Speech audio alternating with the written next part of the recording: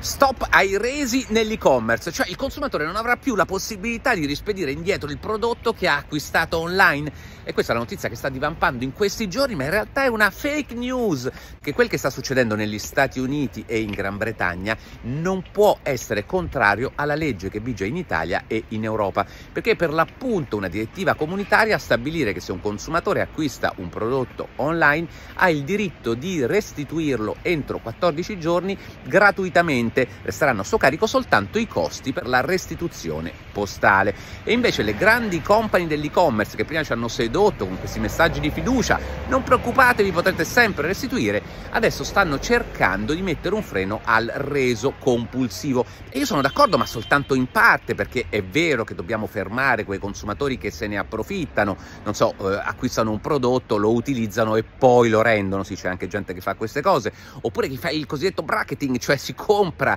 tre prodotti di tre diverse taglie per essere certo di prendere la taglia giusta e le altre due le va a restituire. Questo rappresenta un costo non soltanto per le grandi piattaforme ma soprattutto per l'ambiente, sono camion che vanno avanti, indietro, packaging che si spreca di qua e di là. Ma al di fuori di questi casi, per i quali invito i consumatori a darsi una regolata, il diritto di accesso è una grande tutela perché se ci pensate bene noi non possiamo toccare con mano il prodotto che acquistiamo online, quindi non abbiamo certezza che sia effettivamente quello che avevamo in testa, ma